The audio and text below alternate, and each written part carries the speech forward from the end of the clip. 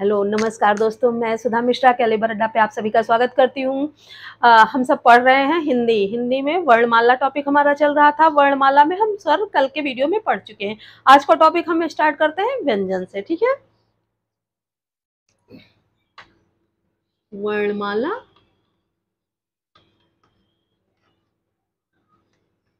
वर्णमाला में हमारा टॉपिक है व्यंजन। स्वर हमने कल पढ़ा था ठीक है?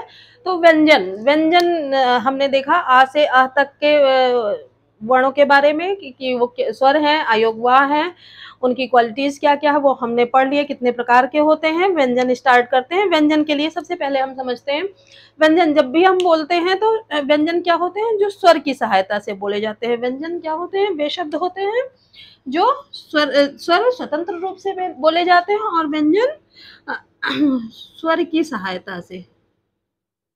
स्वर की सहायता से बोले जाते हैं, ठीक है? ऐसे। बोले जाते हैं, ठीक है? कैसे? जैसे हमने कहा क क। जब हम इसको अलग करेंगे, वर्ण विच्छेद इसका करेंगे तो क्या होगा? क प्लस अ। इसमें क, का आप बोल के देखिए, क क भी हो रहा है, अ हो रहा है। इसके नीचे क्या ये लगता है? हलंत लगता है, ठीक है? ये जो नीचे लगता है, इसको क्या बोलते हैं? हल बोलते हैं। और जब ये किसी शब्द के साथ लग जाता है तो वो हलंत कहलाता है, ठीक है? आ गई बात समझ में तो स्वर की सहायता से जो शब्द बोले जाते हैं, वो व्यंजन कहलाते हैं। व्यंजन की यही परिभाषा होती है, ठीक है? अब व्यंजन कौन कौन से हैं, वो हम देखते हैं। का से ज्ञातक बोले जाने वाले शब्द जो होते हैं, वो व्यंजन होते हैं। का से ज्ञातक। ठीक है? तो इसमें अब कौन कौन से व्यंजन की क्या क्या विशेषता है और क्या है, उसके बारे में अब हम पढ़ेंगे। इसको जानने के लिए व्यंजन को सबसे पहले थोड़ा सा व्यंजन ऐसे नॉर्मल तौर पे तैंतीस होते हैं। कुछ और संयुक्त व्यंजन भी होते हैं, उनको बाद में हम डिस्कस करेंगे। जैसे ये हमारा मुँह होता है, व्यंजन जो बोले जाते हैं वो मुँह के आधार पे बोले जाते हैं। ये हमारी आँख हो गई मुँह। ठीक? मुँह हमने खोला।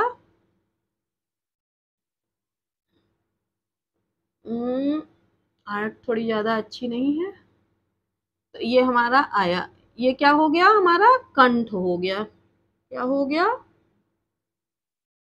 कंठ। कंठ से जब हम थोड़ा और ऊपर आएँगे तो हमारी क्या है? तालु।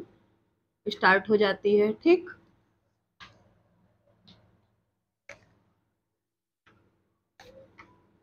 तालु। उसके बाद थोड़ा सा ऊपर आए तो यहाँ हमारा होता है मूर्धा। फिर दंत, और फिर यहाँ बाहर क्या होता है? होस्ट। होस्ट इसको बोलते हैं। ठीक? तो जो हमारे व्यंजन का निर्धारण होता है, इन्हीं के आधार पर होता है। जैसे हम स्टार्ट करते हैं क ख, ग, घ अंगा। ठीक? च, छ, ज, झ ट ठ, ड, ढ अण त, थ, द, ध, न। प, फ, ब, भ, म। ये हमारे मेन व्यंजन होते हैं, ठीक है? तो जो इसका वर्गीकरण होता है, इसको क्या कहते हैं? कवर्ग। क्या है? कवर्ग, का की लाइन हमारी कवर्ग, चा की लाइन चवर्ग। ठीक? टा वाली लाइन टवर्ग। ठीक? ट वाली लाइन इसको कहते हैं तवर्ग। पा वाली लाइन पवर्ग। आ गई इतनी बात समझ में? कई बार आता है कि कवर्ग लिखिए तो कवर्ग यही पूरा है। कखा गाघा अंगा, ये हमारा कवर्ग हो गया। तो जो ये बोलने का निर्धारण होता है तो जो ये हमारा कंठ है कंठ से क्या बोला जाता है? कवर्ग।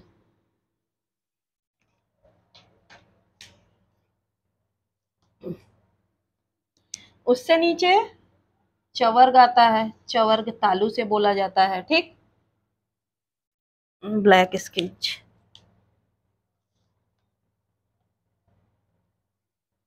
उसके नीचे टवर्ग ये बोला जाता है, मूर्धा से।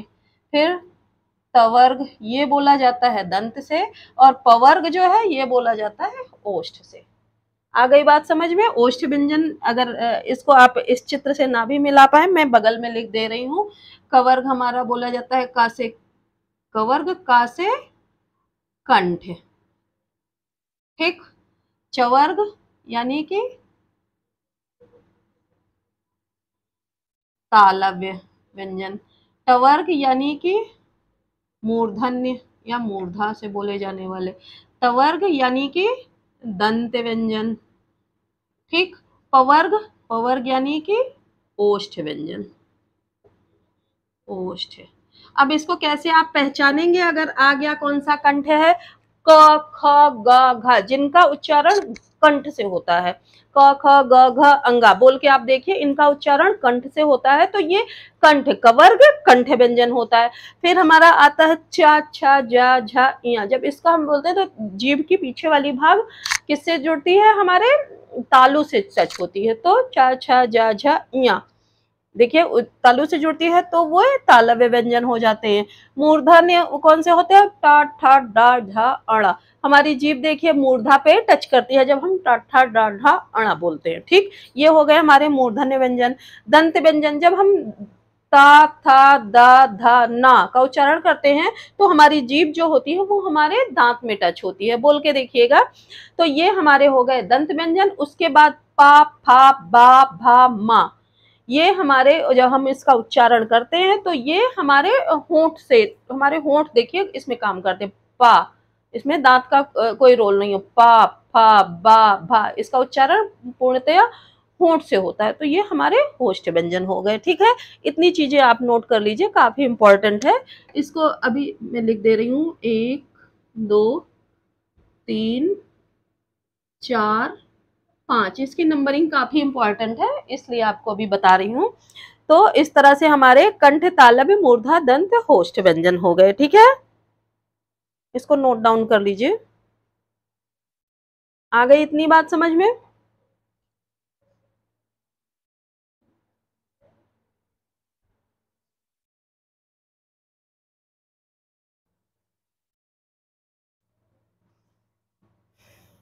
अब इसके बाद हम एक दो बोलते हैं, एक जैसे ये हमारा ड और ढा है, इसका एक और भाग होता है, प्रकार होता है ड और ढा, ठीक? तो इन व्यंजनों को क्या कहा जाता है? उच्छिप्त व्यंजन, क्या कहते हैं? उच्छिप्त व्यंजन।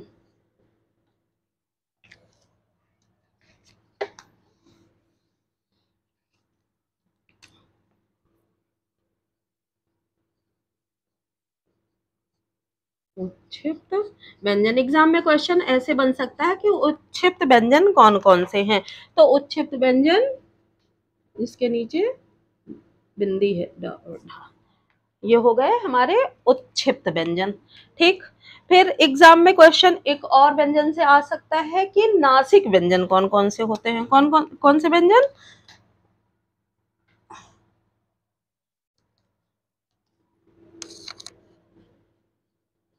नासिक व्यंजन। यानी नासिक व्यंजन का अर्थ ही होता है जो व्यंजन नाक से बोले जाए। तो इसमें देखिए, अंगा, इया, अड़ा, न, म। इसको बोलने में ये व्यंजन इनका उच्चारण किससे होता है? नाक से होता है। तो ये नासिक व्यंजन हो गए। नासिक व्यंजन अगर पूछता है तो अंगा, इया, अड़ा, न, म। ठीक है, ये हो गए नासिक व्यंजन। आ गई बात समझ में?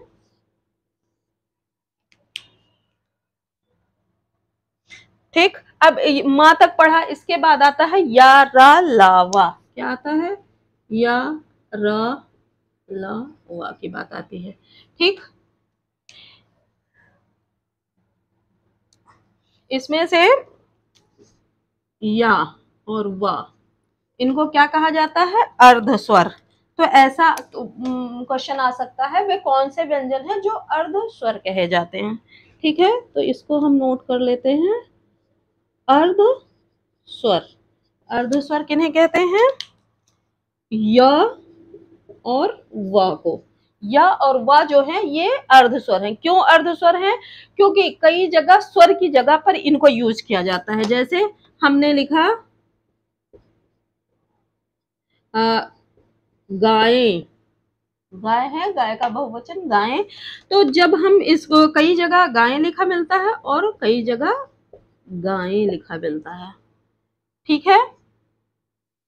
या फिर हम बात करते हैं कई जगह कौवा लिखा मिलता है और कौवे को ही कौ आ लिखा मिलता है। तो ये देखिए, है ना ये स्वर? तो ये व्यंजन की जगह यूज़ हो चुका है, ये भी स्वर, व्यंजन उच्चारण दोनों का एक ही है। तो इस, या माताएँ माताएँ तो ये दोनों जगह, इस सब तरह की चीज़ों में ये स्वर की जगह यूज़ हो सकता है। इसलिए इन दोनों को या और वा को अर्ध स्वर भी कहा जा सकता है। अब इसमें बचता है र और ला। ठीक है? इनका भी नाम है, अपना देख लीजिए।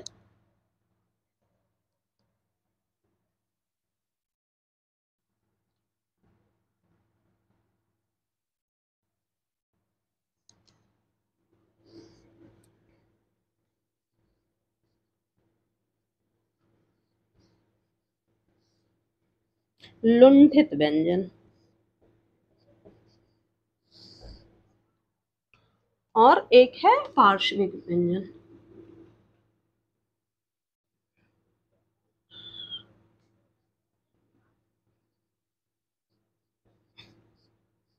पार्श्विक व्यंजन। ठीक है, इसमें जब इसके उच्चारण की हम बात करते हैं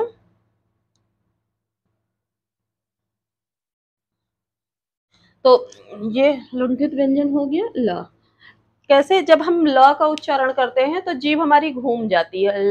ला ला, तालू से टच होती है और जीभ हमारी घूम जाती है। तो हमारी जीभ क्या होती है? अंदर की तरफ़ घूमती है, जिससे घर मतलब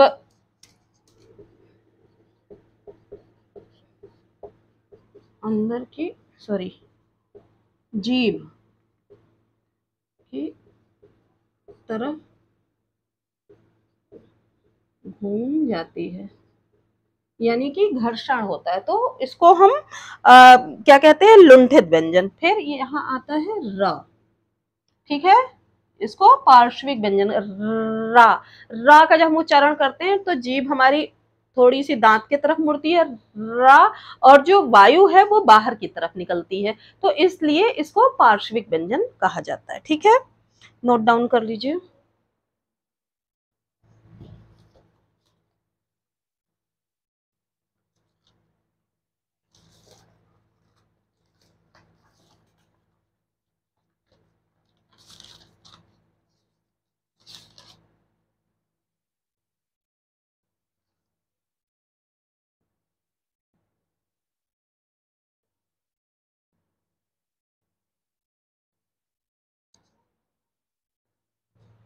ठीक। सॉरी, एक यहाँ पे गलती है सॉरी, पता नहीं कहा। तो ये हमारा हो गया लुंठित व्यंजन और ये पार्श्विक व्यंजन। इसको मैं रब करती हूँ और आगे की व्यंजन के बारे में बताती हूँ। उच्छिप्त व्यंजन, नासिक व्यंजन अर्ध स्वर लुंठित व्यंजन, पार्श्विक व्यंजन। इतनी से व्यंजन की बातें हो गई। इसको मैं रब करती हूँ और चीज़ें आपको बताती हूँ।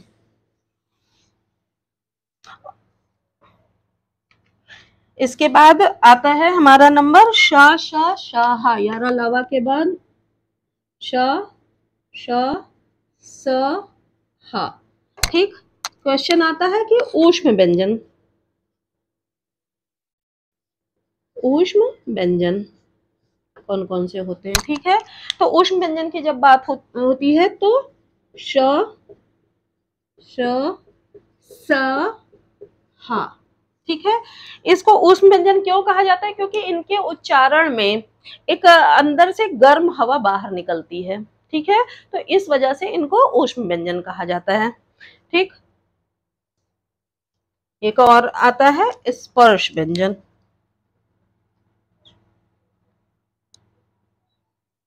एक क्वेश्चन आ सकता है कि स्पर्श व्यंजन कौन कौन से होते हैं? ठीक? स्पर्श व्यंजन आपके होते हैं जो हमारे का से लेके माँ तक के जितने भी व्यंजन होते हैं ये कहीं ना कहीं स्पर्श होके निकल, निकलते हैं। तो क से माँ तक के व्यंजन स्पर्श व्यंजन होते हैं। ठीक? एक और आता है स्पर्श संघर्षी व्यंजन। कौन सा? स्पर्श संघर्षी। व्यंजन। ठीक।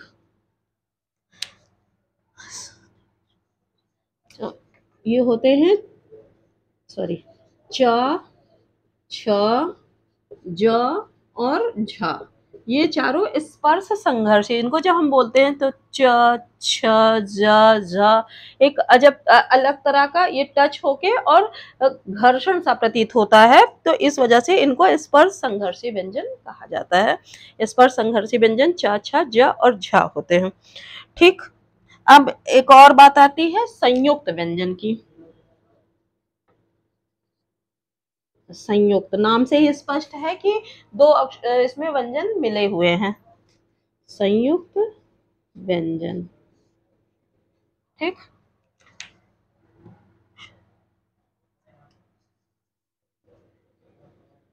है, छ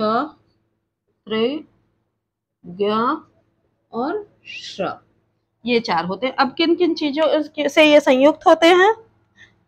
तो इसमें इसका संयोजन होता है क और श से। ठीक? इसका संयोग इसमें कौन कौन से अक्षर होते हैं? त और र। इसमें ज और इया ठीक? इसमें श और र। ठीक है?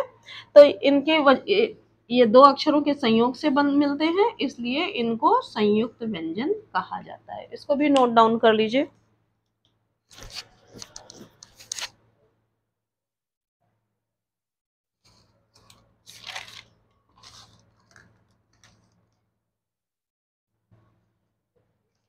ठीक, इसको रब कर रही हूँ।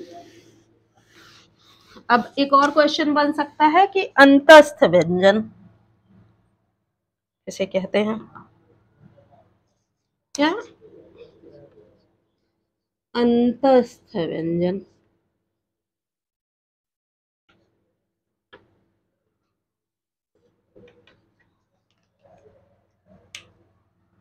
तो ये इतने जो हमारे ये व्यंजन होते हैं, ये क्या है? अंतस्थ। ठीक है? इन्हीं को यहाँ लिख देते हैं। य, र ल, व, श स स, ह। ठीक है? ये अंतस्थ व्यंजन होते हैं। एक और क्वेश्चन बन सकता है आपका व्यंजन से। अघोष और सघोष से आता है।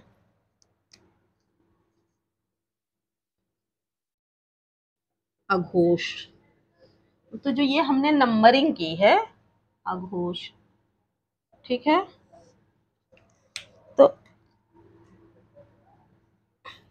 तो पहला और दूसरा वर्ण जो होता है?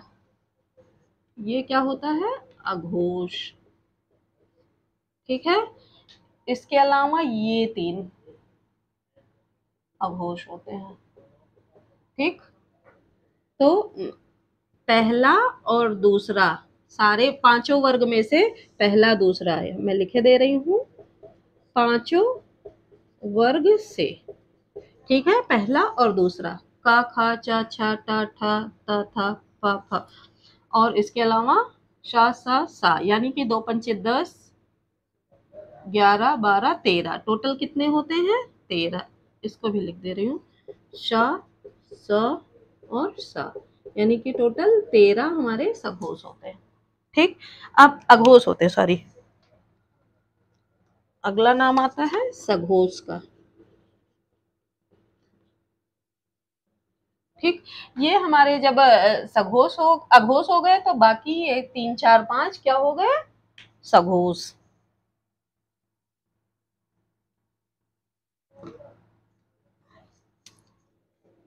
तीन, चार, पाँच। और ये पाँचों वर्ग से। ऐसे ही नोट कर लीजिएगा, समझाने के लिए भी इसको मैंने रखा है। ये तीन, चार, पाँच जो है, ये किसमें आएँगे? सघोष। पाँचों वर्ग से। ठीक है? और इसके अलावा यारा लावा या ला वा और इसके अलावा स्वर में से आ से औ तक। ठीक है? सारे स्वर। ये सब किसमें आते हैं? सबहोश में आते हैं। आ गई बात समझ में?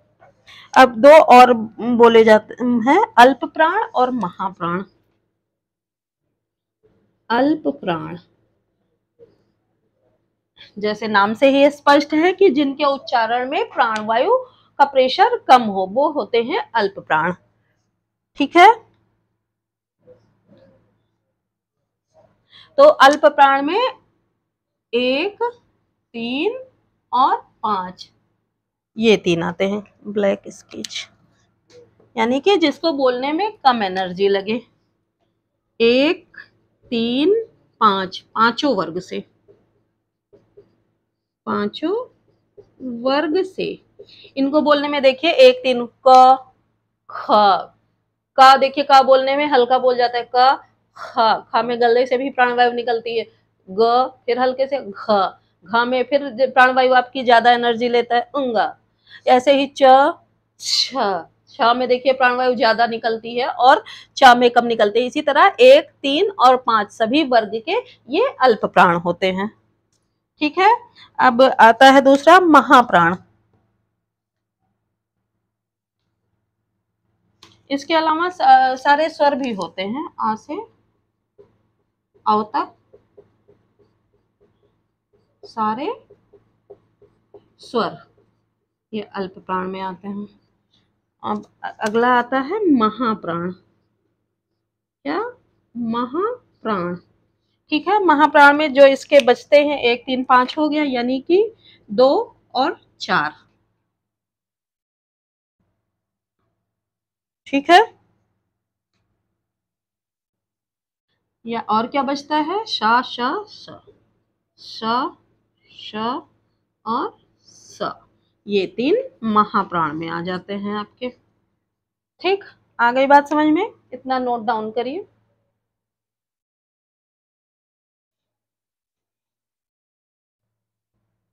बस थोड़ी सी चीज़ें और बचती हैं, वो मैं आपको बता देती हूँ।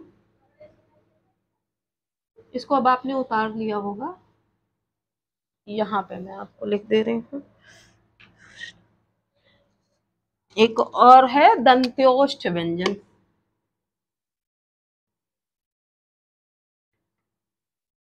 दंतोष्ठ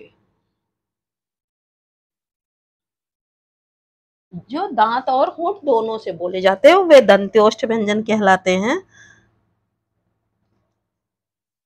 जैसे वा वा, फा, इसमें दांत और होंठ दोनों की सहायता ली जाती है, ठीक है?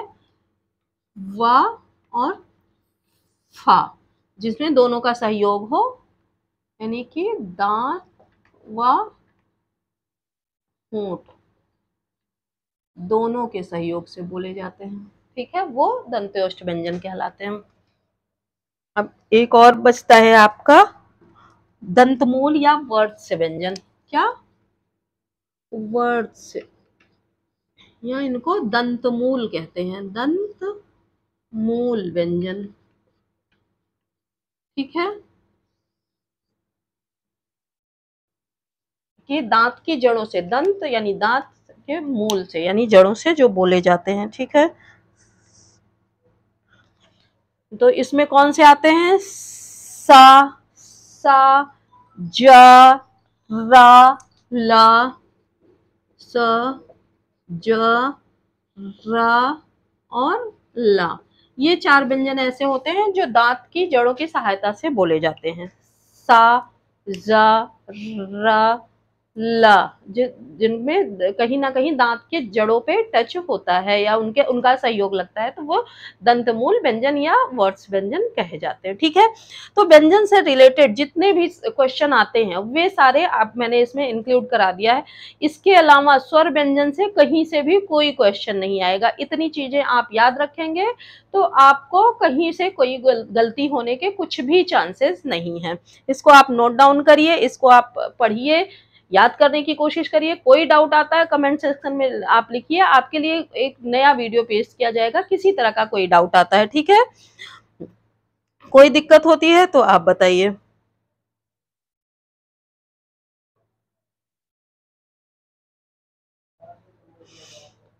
होपफुली नोट कर लिया होगा। कोई दिक्कत आती है तो आप कमेंट सेक्शन में लिखिएगा। वीडियो आपको पसंद आता है तो लाइक सब्सक्राइब शेयर ज़रूर करिए। मिलते हैं नए वीडियो में नए टॉपिक के साथ। वीडियो का एग्ज़ाम आपको क्लियर करना ही है। मैं आपका वीडियो का एग्ज़ाम क्लियर करवा कर ही रहूँगी। और आप ये वीडियो देखते रहिए। वीडियो का एग्ज़ाम जो री एग्ज़ाम होने वाला है, इसके अलावा बंद होगा यूपीएसआई यूपीएससी या यूपी ट्रिपल एस सी सबसे रिलेटेड जो भी एग्ज़ाम होते हैं all teaching related exam T super T और C TET H TET REET D triple S B, सभी तरह के एग्ज़ाम के लिए काफ़ी महत्वपूर्ण टॉपिक है। आप इसको ज़रूर देखिए, इसको बिल्कुल कंठस्थ कर लीजिए। मिलते हैं नए वीडियो में नए कंटेंट के साथ। तब तक के लिए धन्यवाद।